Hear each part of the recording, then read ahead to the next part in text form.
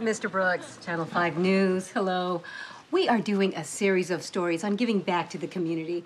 Is it true that you donated a million dollars to the Boys and Girls Club in town? A million dollars? What? Stanley, what are you talking? Listen, everybody calm down for a second, first of all. And, and secondly, how did you even hear about that? Well, people just don't donate a million dollars every day, Mr. Brooks. Ma'am, look, okay, this is a place of business. So is it possible you guys can come back another time or something, please? So is it true? Did you, in fact, donate the money, Mr. Brooks?